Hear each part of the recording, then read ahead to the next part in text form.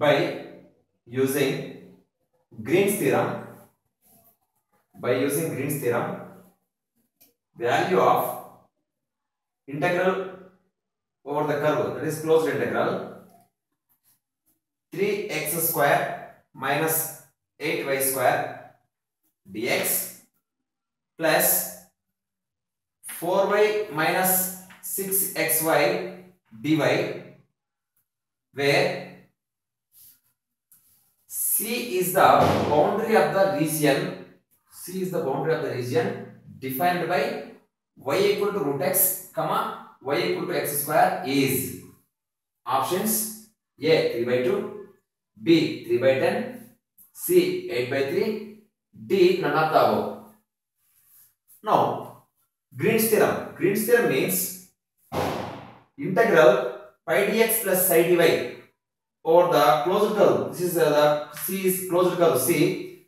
This, this circle means closed curve, closed integral is equal to double integral. That means area integral of dou psi. This is psi. Dou psi by dou x minus dou pi by dou y dx dy. This is the Green's theorem actually. So now applying this Green's theorem, pi dx plus psi dy means this one has given 3x square minus 8y square dx integral plus 4y minus 6xy dy. This is the function he has given, uh, integral he has given.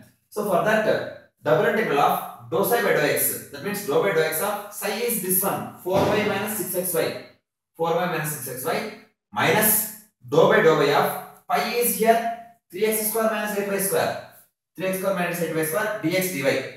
Now here dou by dou x of this 4y minus 6xy is 4y that is 0 dou by x of 4y is 0 minus 6xy means minus 6x uh, minus 6y is the uh, differentiation of this 6xy with respect to x. And minus here dou by dou y of 3x square minus 8y square is differentiation of 3x square with respect to y is 0 minus 8y square means minus 16y minus and minus minus of minus plus 16y so minus 6y plus 16y that is 16 minus 6 10y dy dx here for getting the limits of integration we should understand the region what he has given. Y is root x and y is x square. Y is root x is this parabola. This parabola and y equal to x square is this parabola. There are there are two intersection points here and here. If x equal to 0 also y equal to 0 that also satisfies and uh, x equal to 1 y equal to 1 also satisfies. These two intersection points we can get very easily by observing this 0 comma 0 and 1 comma 1 now separately we have drawn here this one. This is y equal to x square curve this one. Then this curve is y equal to root x curve. We have taken dx and dy one small element here.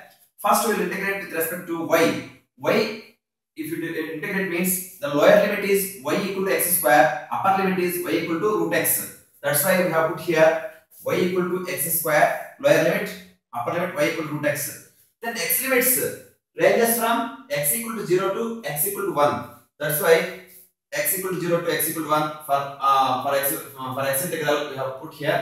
Then integrating with respect to y.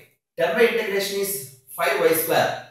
Limits are lower limit x equal to x square y equal to x square y equal to root x. So x square to root x. Then applying these limits here. Substituting uh, root x in the place of y root x whole square that means x minus 5 into y plus you substitute x square means x square whole square that is x power 4 so 5x minus 5x of x to the power 4 dx integral 0 to 1 that means 5x integration is 5x square by 2 minus 5x power 4 means 5 into x power 5 by 5 limits 0 to 1 so substituting here uh, at the place of x 1 5 by 2 minus 1 substituting 0 that will be 0 only. So 5 by 2 minus 1 that is 3 by 2 so answer is option A 3 by 2